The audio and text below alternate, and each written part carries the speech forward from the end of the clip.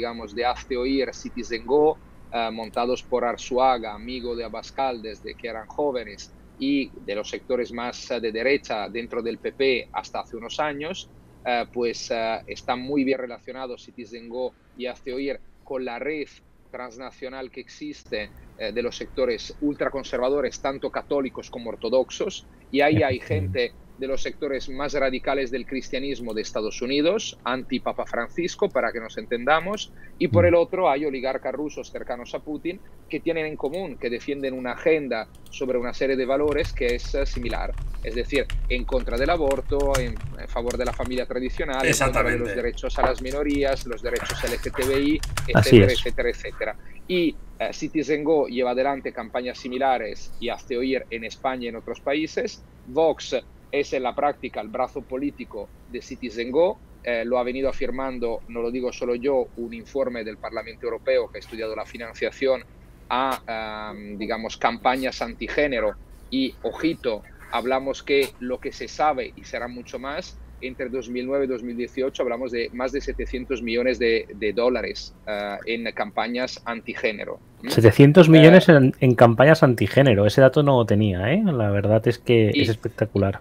Y creo, Juan Frank, que, es, que, es, que es un dato, digamos, a la baja, porque es lo que se conoce. Bien, mm. Citizen Go está metida en todo esto y Citizen Go lleva adelante campaña, pensamos en el bus transfóbico, eh, que eh, representa perfectamente lo que defiende Vox, eh, ¿no? Entonces, y aquí, ojito, la cosa interesante, Arzuaga pidió en 2013 100.000 euros de apoyo para la fundación de Citizen Go a Konstantin Malofev, que es un oligarca cercano a Putin, que tras 2014 ha sido, digamos, sancionado por la Unión Europea, que es el fundador de una fundación que se llama San Basilio el Grande y de canales de televisión, de radio, de otras, digamos, redes en Rusia y a nivel global. eh, que eh, defienden estos valores ultraconservadores.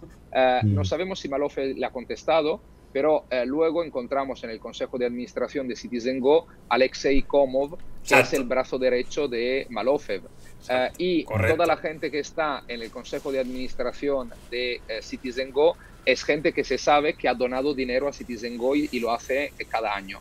Entonces, mm. ¿Vox le ha ido a pedir dinero directamente a Putin? No, lo ha hecho posiblemente eh, no tenemos la prueba cierta, pero hay una serie de indicios que nos hacen pensar que eso no está muy equivocado y descarrillado, lo ha hecho a través de Citizen Go. Y entonces, ¿ha llegado dinero ruso a Vox? Sí. Entonces, simplificando un poco, ya que a Bascal le gustan las simplificaciones, eh, si hay un amigo en España de Vox, este es justamente Santiago Abascal.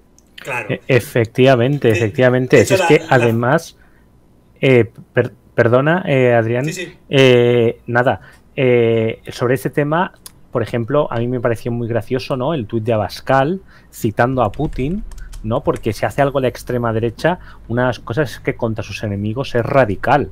Y los enemigos de Vox son prácticamente cualquier cosa que no sea la derecha dura, ¿no? Hmm. Y, claro, que, que, que Abascal cite a Putin, ¿no?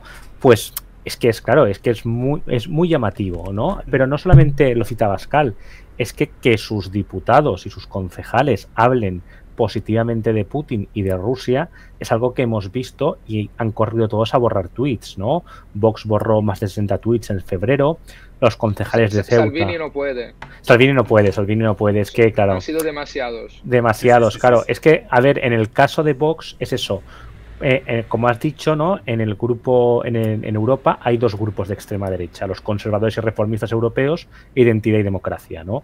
Como por suerte Vox se vinculó rápido con el grupo conservadores y reformistas europeos, que son atlantistas y odian un poco a Rusia, muchos de ellos, ¿no? Pues se escapó, ¿no? De esa de que como identidad y democracia sí que está muy unida a Rusia. Y claro, Putin, ay, perdón, Salvini, pues bueno. de hecho, Claro, de hecho aquí Juan Fran, además yo creo que hay una cosa interesante. En uh, el libro Entrevista con Sánchez Dragó, Santiago Bascal uh, explicó que, eh, digamos, se había intentado montar una, un encuentro con Putin, estaba todo muy avanzado y él dice, al final se tiró para atrás y a Sánchez Dragó le dice por prudencia.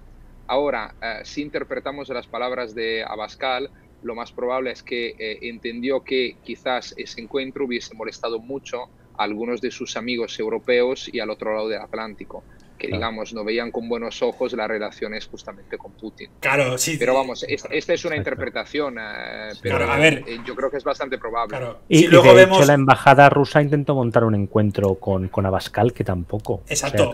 Y si luego vemos los movimientos que ha tenido Vox a nivel internacional, ha sido de acercarse a América tanto América del Norte como, como, América Latina. Entonces, eh, está claro que a lo mejor no le interesaba ese movimiento. Pero es que además, eh, según eh, Pandemia Digital, según Julián Macías Tobar, que hizo un análisis de los tweets que se borraron, en total en Vox habrían sido más de unos 200 aproximadamente. Es que además tenemos el voto en contra de varias declaraciones institucionales en contra de la guerra.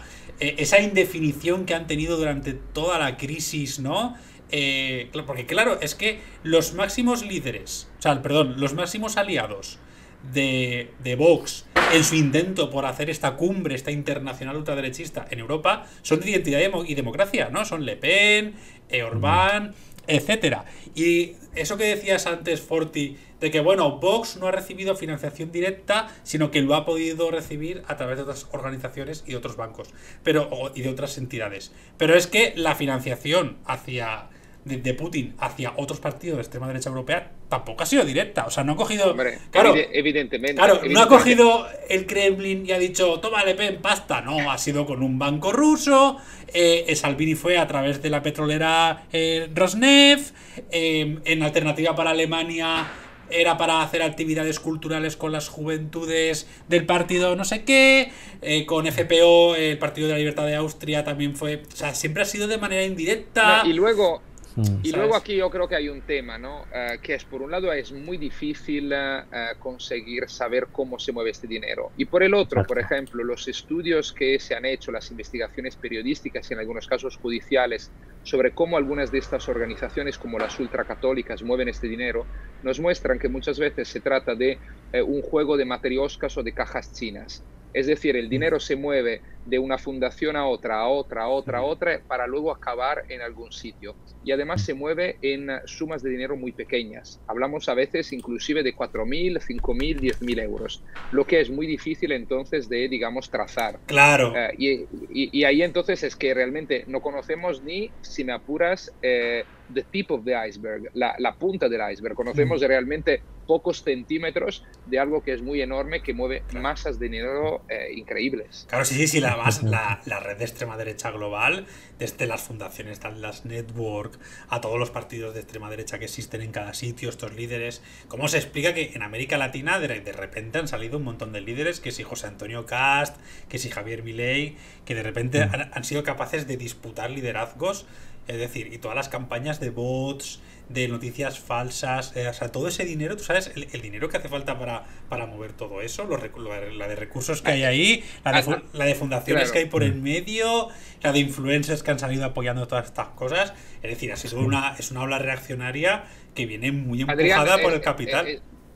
Eh, mira, ahí yo creo que nos ayuda a entender cómo puede ser un poco la cantidad de ese dinero y, la, de lo que estamos hablando si pensamos en el escándalo de Cambridge Analytica, que Por es el único caso que conocemos con un poco más de detalle. Ahí hablamos de una empresa que ha recibido muchísimo dinero por parte de gente con mucha pasta ultraconservadora en Estados Unidos, eh, la familia Mercer y muchos otros, figuras como en, en, Gran Bretaña Aaron Banks, etcétera, que también ahí tenía vínculos con la Rusia putiniana, por otro lado, no lo olvidemos, y esta gente ha metido ahí muchísima pasta en empresas que trabajan en la perfilación de datos, en eh, la eh, recolección de datos y el análisis para luego desarrollar una propaganda muy personalizada. Y eso se hace a pequeña escala en muchísimos otros casos, ¿no? El caso de Bolsonaro en WhatsApp es otro, en 2018. Pero vamos, que, que realmente ahí también conocemos muy poco